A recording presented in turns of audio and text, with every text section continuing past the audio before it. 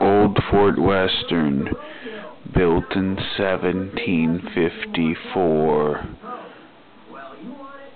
Old Fort Western, the oldest wooden fort in America. Old Fort Western in Augusta, Maine. Old Fort Western on the Kennebec River. Old Fort Western is haunted by Benedict Arnold. Haunted by Benedict Arnold. Old Fort Western.